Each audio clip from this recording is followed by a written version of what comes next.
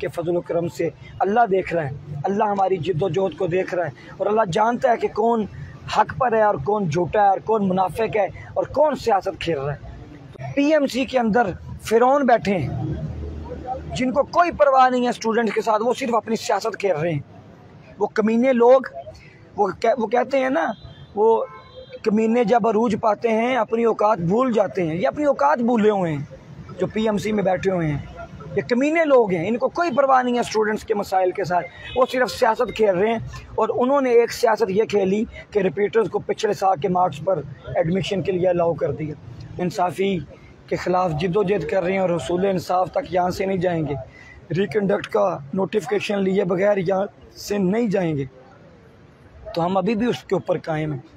आज चूँकि तीन दिन हमें यहाँ पे मुकम्मल हो गए यहाँ डी चौक के अंदर हम बैठे हुए हैं।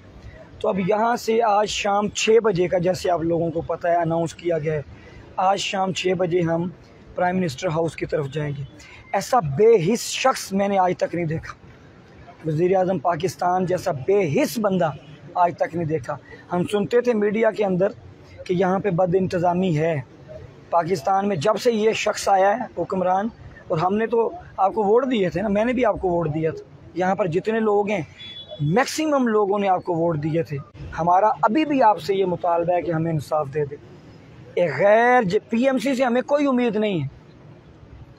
पाकिस्तान में कानून की हालत ये है कि यहाँ पर एक केस चलता है, उसके कई कई महीने जनाब, उसका फैसला ही नहीं होता। शायद ये जो केस अभी सारी हाई कोर्ट्स में लगे हुए हैं, तब तक मेडिकल कॉलेज में क्लासेस शुरू हो जाए, एडमिशन होने के बाद जब इनका कोई फ़ैसला है हमें सारी पता है सूरत हाल का। तो किसकी तरफ़ जाएँ फिर इंसाफ लेने बताएँ आप? कहाँ पे जाएँ? कहाँ पे फरियाद करें? तो शाम छः बजे का टाइम है। हर बंदा पहुँचे। जो जो समझता है कि ना इंसाफ़ी के ख़िलाफ़ उठना चाहिए, वो लाजमन आए। आके अपना हक अदा करे और हम यहाँ से इन रेड जोन के अंदर जाएँगे। ये खान साहब भी तो जब यहीं पर धरना दिया था ना, जब हम बैठे हुए तो ये भी यहाँ से गए थे।